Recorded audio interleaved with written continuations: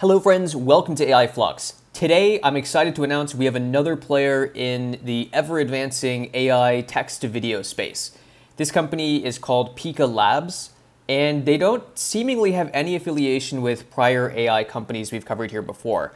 So dissimilar from the open source Zeroscope, Runway ML, or projects from Facebook and Midjourney. Initially, I saw these videos on Twitter late last night, and I think sometime around July 3rd, Pika Labs actually started posting demos of what their videos look like. And initially, I thought they were very fine-tuned videos from Runway ML, or maybe um, highly, highly cherry-picked videos from Zeroscope. And what really caught my eye is how good the motion mapping in all these videos is. If you've watched anything created by Zeroscope or Runway, You'll know that generally the only thing moving in these videos is the camera itself, and occasionally a subject will be changing, and occasionally, you know, a subject may be spinning around or morphing in sort of a blob-like way. Oddly enough, I think Zeroscope previously had the best example of understanding how different subjects should move. The Reef videos that it seems to favor, I think really showcase this. You know, the fact that the model could understand a eel will sort of slither and an octopus looking character might kind of slither and blob its way around. And it really understood how fish and sort of deep sea and deep sea creatures might move, which was kind of interesting. And it, you know, not, not that Runway ML Gen 1 and Gen 2 struggled with this, but um, other than trees moving and sort of static objects bending, they did seem to have limitations. And Pika Labs appears to have done something that helps them understand in a multimodal sense um, how multiple characters can can move and while also combining that with a incredible sense of depth of field sort of tilt shift and a number of other character-centric features that, that make these videos look much, much more realistic. So this is what their landing page looks like. It's very, very bare. Right now you can apply to join the beta. Hopefully we'll have beta access within the next few days. And they've shared a small number of demos, but right now Twitter is really the best place to look for these.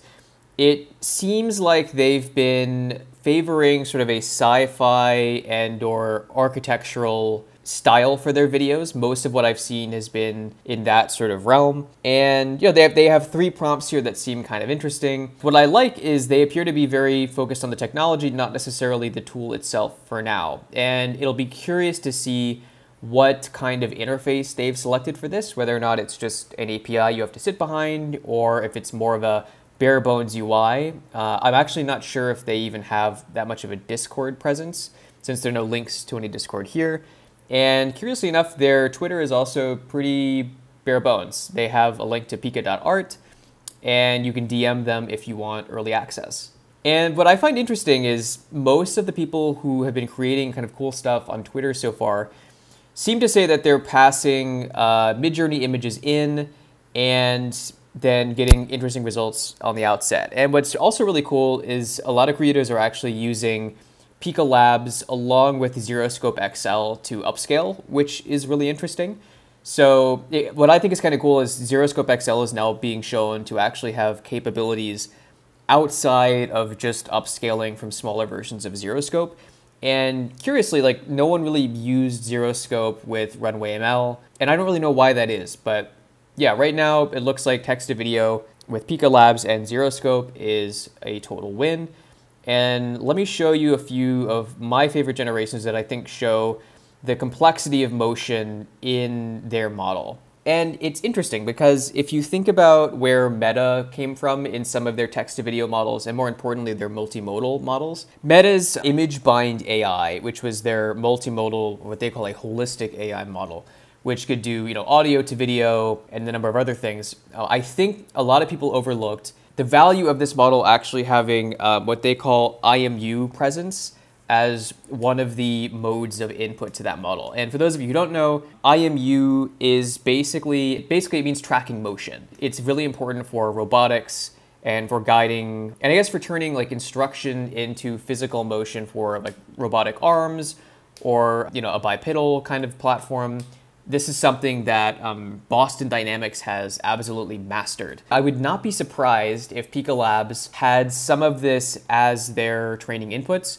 Because for instance, you know, if you have a lot of inputs that are simply looking at different kinds of subjects and how they move in very distinct ways with segmentation. That is how you improve sort of the motion clarity of these models. So it'll be very interesting to see if we get more information about this closed source model. You know, Zeroscope was a very interesting departure from prior tools we'd seen because it was totally open source and you could rip it apart wherever you wanted and see exactly what was going on generally. And for Pika Labs, it's right now kind of a black box. So we'll see how well it gets this, the use by artists seems to be very, very interesting.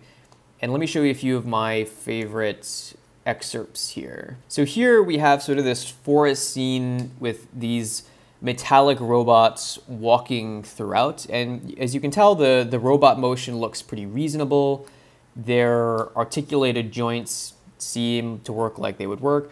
Of course, the environment itself is moving in kind of a weird way with depth of field, but it's still very realistic. And just like you would see in the latest version of Runway ML Gen 2, the occlusion of light through the trees and through the leaves and how the color of the leaves changes is all kind of how you'd think it would be. It's a little stuttery, and it, obviously this video is only two seconds long, but it's a really great starting point. There are also some more abstract kind of spooky videos. So this is one by someone named Ronnie Khalil, and they're an artist on Twitter. And this is sort of a impressionist painting that appears to be waves of water that eventually turns into this large eye. And uh, I think it's cool because you can never quite tell what this is. And in my opinion, when you let these text to video models really have greater creativity and, and less constraints, I think what they produce generally is more interesting and can be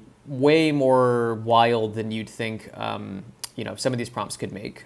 And this next one is sort of this weird desktop scene. So it's uh, you have sort of this jar and these desks and more robots. I don't know why robots are a recurring theme with Pika Labs. It's kind of funny because with Zeroscope, all the videos we initially saw were of deep sea creatures and reef fish. But what I like to see here is the complexity of each environment is quite high. You have these weird um, kind of metallic elements. You have these bioluminescent uh, or sort of like EL wire looking LED pieces that are still refracting and doing a lot of complex stuff with the environment, not just with the subject itself. Of course, with a lot of these models, as you know, um, when they have a really shallow depth of field, that is kind of how they cheat to make things look better and to save work and also just to get your eyes to focus somewhere very specific.